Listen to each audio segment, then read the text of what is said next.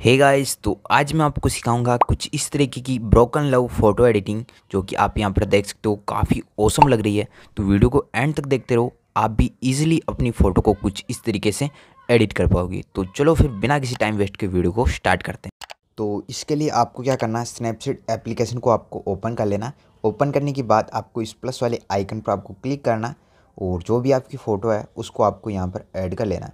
Add कर लेने के बाद आपको इस पेंसिल वाले आइकन पर आपको क्लिक करना है और यहाँ पर आपको काफ़ी सारे टूल्स मिल जाएँगे। तो आपको नीचे आना और यहाँ पर आपको एक विंटेक वाले ऑप्शन पर आपको क्लिक कर लेना है। और इसमें से आपको जो लास्ट वाला है, बारह नंबर वाला, इसको आपको सिलेक्ट करना है और इसकी सेटिंग्स में आना और सेचुरेशन को बिल्कुल डाउन कर लेना है और इसको थोड़ा सा इंक्रीज़ करना है और इसको आपको कुछ इस तरीके से रख लेना है और फिर यहाँ से आपको डन कर लेना है। इतना कर लेने के बाद आपको ऊपर लेयर्स वाले आइकन पर आपको क्लिक करना व्यू एडिट्स पर आपको क्लिक करना विंटेक पर क्लिक करना और इस इरेजर ब्रश पर आपको क्लिक कर लेना इतना कर लेने के बाद आपको यहाँ से इसको इन्वर्ट करना और इसको कुछ इस तरीके से ज़ीरो कर लेना बिल्कुल ज़ीरो और कुछ इस तरीके से जूम करना और इस वाले इफ़ेक्ट को आपको क्या करना है, आपकी जहाँ पर भी स्किन है वहाँ वहाँ से आपको इरेज कर लेना जहाँ जहाँ स्किन है, वहाँ वहाँ से इरेज कर लेना और जो ये हेयर है, यहाँ से भी आपको हेयर से भी कुछ इस तरीके से इसको रिमूव कर लेना है। एकदम थोड़ा सा परफेक्ट तरीके से करना, तब हमारी एडिटिंग बेस्ट लगेगी। तो मैं फटाफट से इरेज कर लेता हूँ।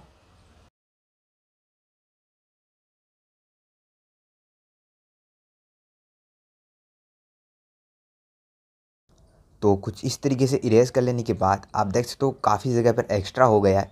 तो वहाँ पर क्या करना है? इसको कुछ इस तरीके से हंड्रेड कर लेना और आपको इफ़ेक्ट को वापस से कुछ इस तरीके से ड्रॉ कर लेना है जहाँ पर एक्स्ट्रा इरेज हो गया वहाँ वहाँ से।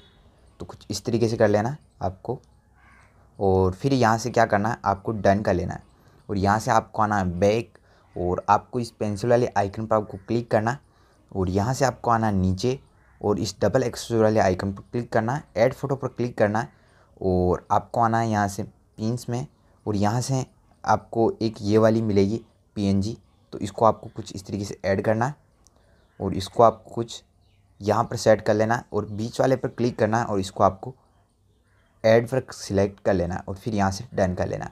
और फिर आना आपको इस पेंसिल आइकन में और अगेन आपको डबल एक्सपोर पर क्लिक करना है ऐड फ़ोटो पर क्लिक करना और यहाँ से आपको एक ब्रोकन वाली पीएनजी मिलेगी तो इसको भी आपको ऐड कर लेना।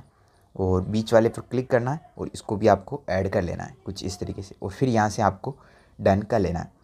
और अगेन इस पेंसिल वाले आइकन पर क्लिक करना है, डबल एक्स पर क्लिक करना है और इस वाले ऐड फ़ोटो पर क्लिक करना है और ये जो रेड कलर वाली शेडो है इसको भी ऐड कर लेना है और बीच वाले पर क्लिक करना है और इसको भी ऐड करना है।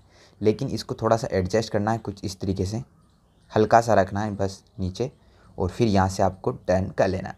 अगेन आपको आना है इस पेंसिल आइकन में डबल एक्सप्लोर पर क्लिक करना है ऐड फ़ोटो पर क्लिक करना है, और इस बार आपको रेड पैनल ऐड करना है कलर वाला। और आपको इस बीच वाले पर क्लिक करना है, और यहाँ से आपको ये वाला सब्ट्रेट वाला सिलेक्ट कर लेना है।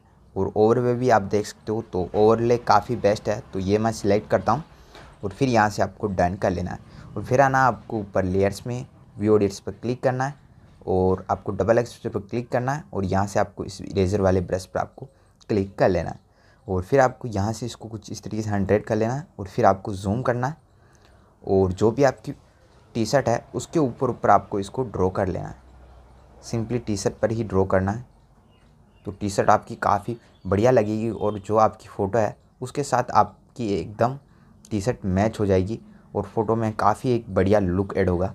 तो कुछ इस तरीके से मैं कलर को ड्रॉ कर लेता हूँ। आपको भी कुछ इसी तरीके से ड्रॉ कर लेना।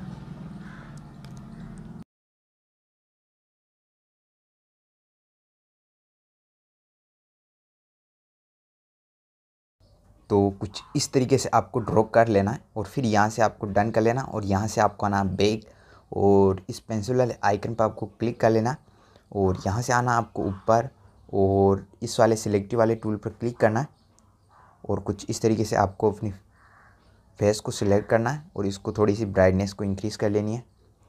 और इसी तरीके से आपको जहाँ पर भी डार्क है, वहाँ से कुछ इस तरीके से ब्राइटनेस को इंक्रीज़ कर लेना है। और फिर यहाँ से आपको डन कर लेना और इस पेंसिल वाले आइकन पर आपको क्लिक करना है। और यहाँ पर आपको क्या करना है, इस वाइट बैलेंस वाले ऐप पर आपको क्लिक करना है। और यहाँ से इसके टेम्परेचर को थोड़ा सा माइनस करना है और टिंट को थोड़ा सा कुछ इस तरीके से इंक्रीज़ कर लेना है और फिर यहाँ से क्या करना है?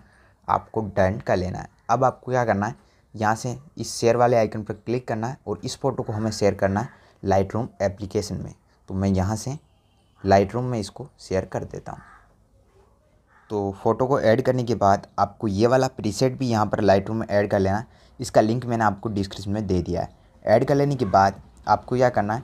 यहाँ पर आपको थ्री डॉट पर क्लिक करना और यहाँ से आपको नीचे आना और कॉपी सेटिंग्स वाले आइकन पर क्लिक कर लेना है। और यहाँ से आपको क्या करना है?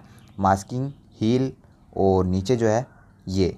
इसको कॉपी कर लेना है और यहाँ से इसको डन कर लेना है। और फिर आना आपको अपनी फ़ोटो में और थ्री डॉट पर क्लिक करना और यहाँ से आपको पेस्ट सेटिंग कर देना है। तो देख सकते हो सिंपली आपकी फ़ोटो काफ़ी औसम लग रही है और वन क्लिक में कुछ इस तरीके से एडिटिंग हो गई है। सेव करने के लिए सिंपली शेयर वाले आइकन पर क्लिक करना है और सेव टू डिवाइस पर क्लिक करके फ़ोटो को सेव कर लेना।